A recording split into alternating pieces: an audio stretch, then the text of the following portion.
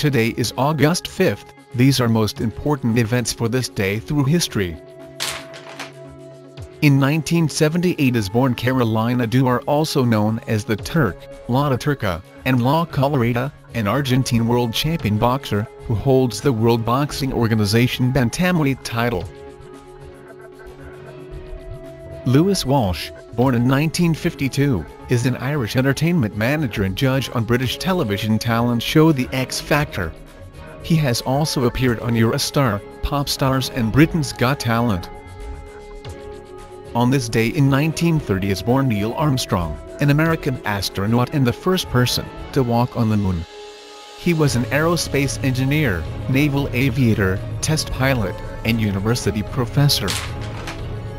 The Battle of Petrovaradin or Battle of Peterwaradin was a decisive victory for Austrian forces in the war between Habsburg monarchy of Austria and the Ottoman Empire at Petrovaradin, then part of military frontier, Habsburg monarchy, today part of Novi Sad, Vojvodina, Serbia.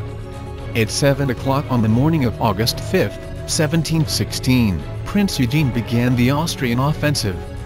After the defeated Ottomans were wiped out, Prince Eugene personally led his troops against the Grand Vizier's encampment.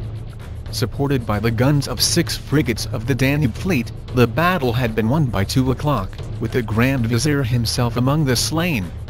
Barely 50,000 Ottomans returned to Belgrade. Soon, from Constantinople came a messenger from the Sultan with order of execution of Damat Ali. He is buried at the Belgrade fortress, Kalemegdan, in tomb known as Damat Ali Pasino Turb. The Wola massacre was the systematic killing of between 40 to 50,000 people in the Wola district of Poland's capital city Warsaw by Nazi German troops during the early phase of the Warsaw Uprising. On 5 August, three German battle groups started their advance towards the city center from the western outskirts of the Wola district along Wolska Street and Górczewska Street. From 5 to 12 August 1944, tens of thousands of Polish civilians along with captured Home Army resistance fighters were brutally and systematically murdered by the Germans in organized mass executions throughout Wola. The Germans anticipated that these atrocities would crush the insurgents' will to fight and put the uprising to a swift end. However, the ruthless pacification of Wola only stiffened Polish resistance, and it took another two months of heavy fighting for the Germans to regain control of the city. Nelson Rolihlahla Mandela was a South African anti-apartheid revolutionary, politician and philanthropist, who served as President of South Africa from 1994 to 1999.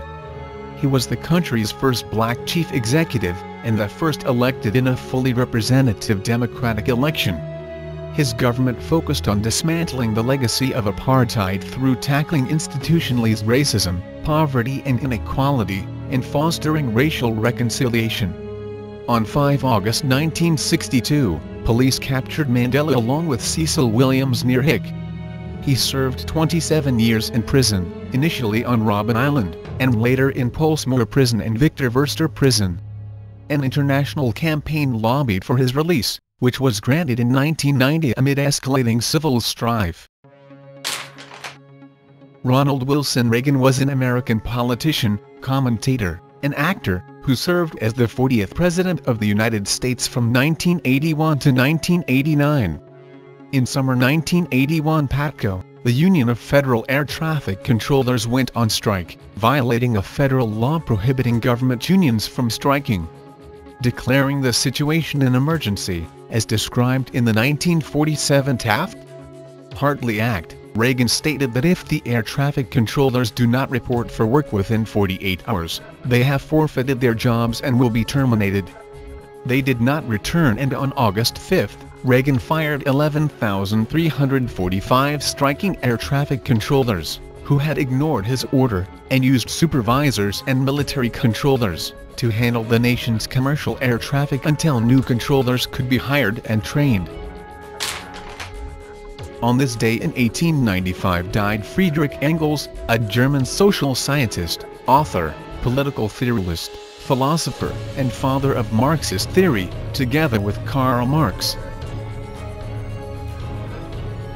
On this day in 2014 died Jesse Leonard Steinfeld, an American physician and public health official. He was appointed the 11th Surgeon General of the United States from 1969 to 1973. On this day in 1963 died Marilyn Monroe. She was an American actress, model, and singer, who became a major sex symbol, starring in a number of commercially successful motion pictures. Time is the longest distance between two places.